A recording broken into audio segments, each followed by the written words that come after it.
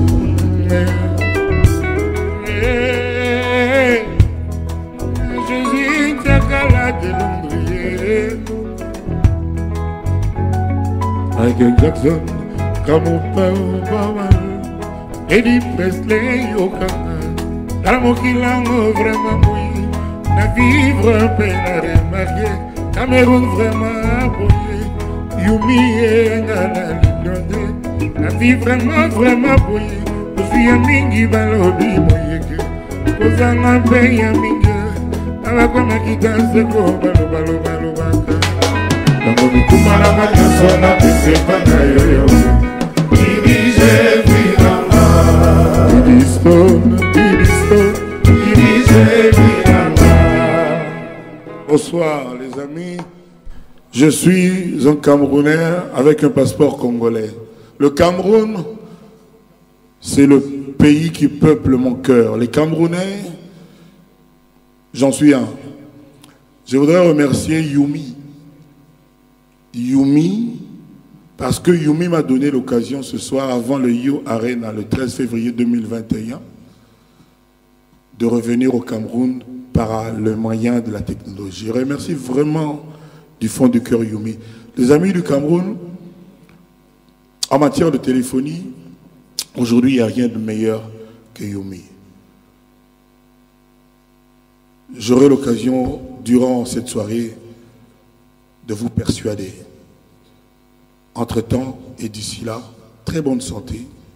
Continuez d'observer les règles pour combattre les virus assassins. Continuez de porter les masques, la distanciation. ils ont dit un mètre, moi j'ai dit deux mètres, pas même deux mètres et demi. Pas de bonjour avec la main. Et euh, quand vous toussez, protégez l'autre. Merci et très très belle soirée. On commence avec Assassin.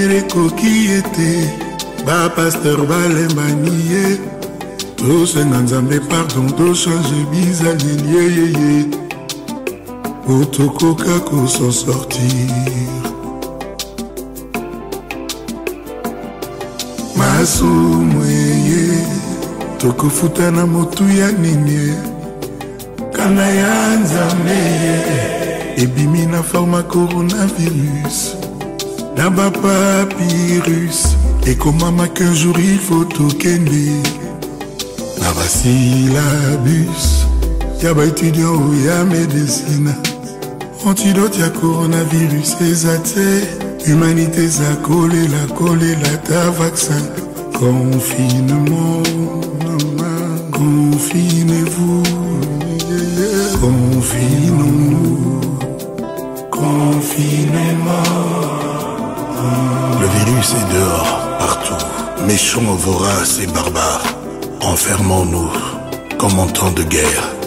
L'ennemi n'a pas de visage, et nous on est de tous âges. Nous et ceux qu'on aime, nos enfants en bas âge. Confinons-nous.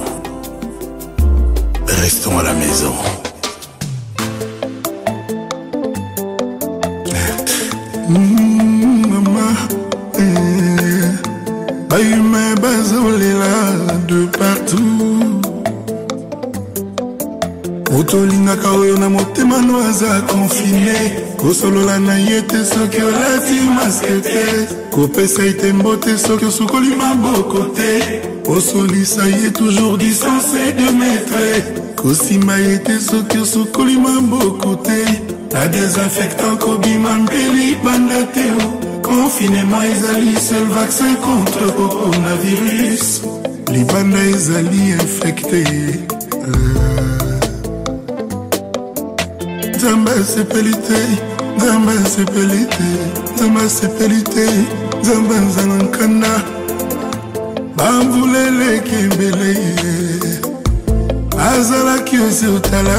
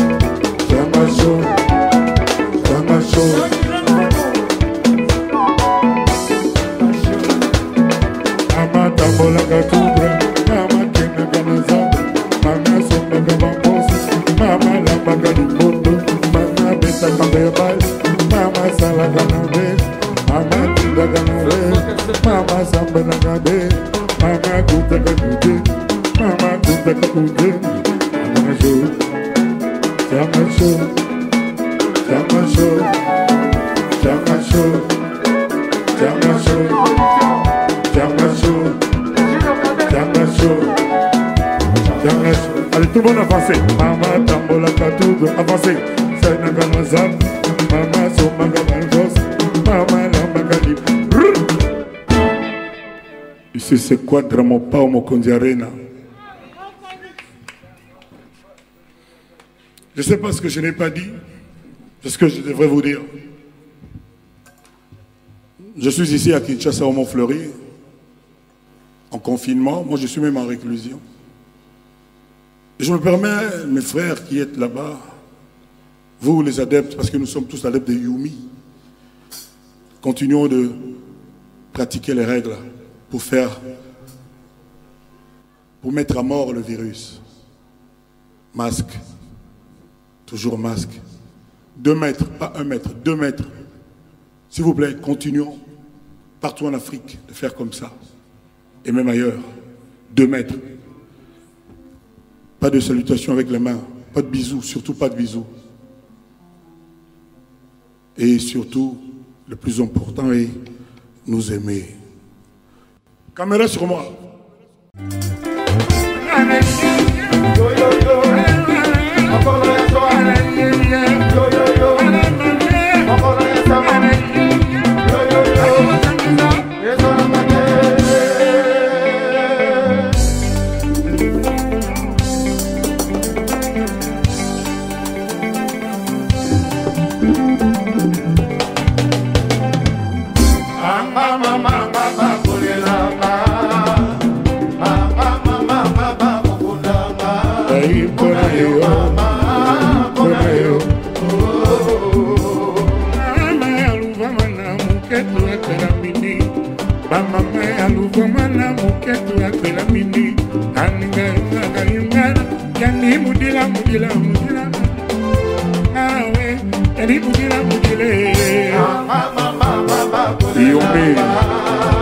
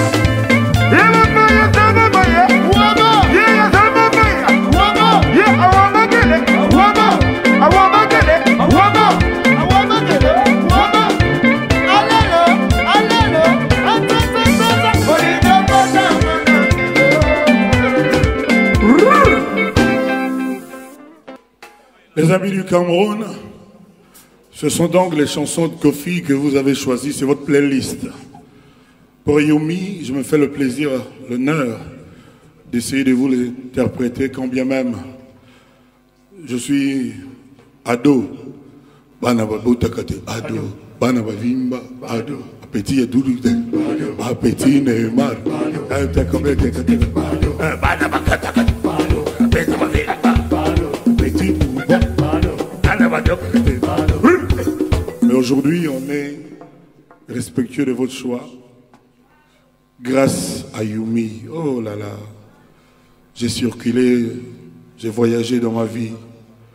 Et puis aujourd'hui, je suis tombé sur Yumi. Je me suis relevé, je me suis arrêté. Yumi, respect. Hmm. Les amis, vous savez qu'avec Yumi, c'est la fête tous les jours. C'est la fête nuit et jour. C'est la fête avec amour. Vous savez que les SMS sont gratuits. Et vous avez des paiements avec des remises dans les magasins. Vous pouvez transférer votre argent gratuitement. Si vous voulez m'envoyer de l'argent, c'est gratuit. Eh, vous savez qu'Internet avec Yumi, c'est haut débit non-stop. Même si vous êtes dans la forêt du Cameroun, vous allez avoir le réseau. Avec Yumi, il n'y a pas de doute. Je vous rappelle, SMS gratuit.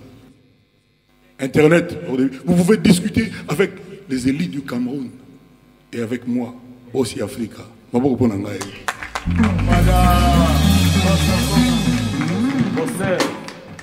Ceux qui veulent avoir des renseignements sur ce blouson de Klein Philippe, vous m'appelez avec Yumi. Je vais vous renseigner. Ne vous inquiétez pas, c'est moins de 10 000 euros quand même.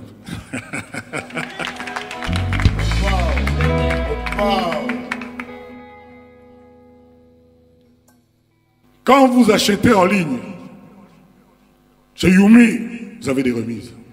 Quand vous achetez en ligne, avec l'application All in One,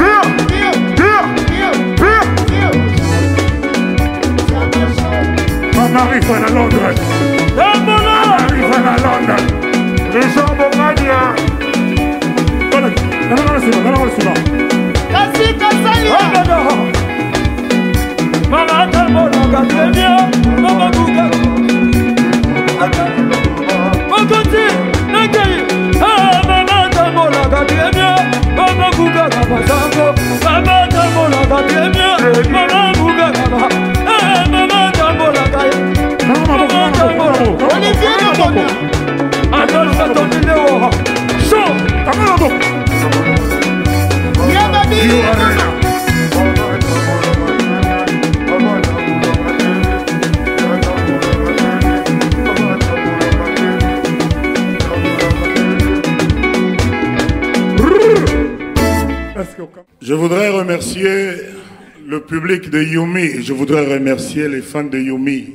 Parce que Yumi a des fans. je vous invite tous au Cameroun de vous abonner sur mon Instagram, Kofi Olomide-officiel. Vous abonnez tous. Parce qu'il y en a, va avoir à boire et à manger. Je voudrais remercier donc Yumi. On va se retrouver très bientôt. Il y a un tube où il y aura l'ange de la chanson Daphne aux côtés de Bossemoka. Moka.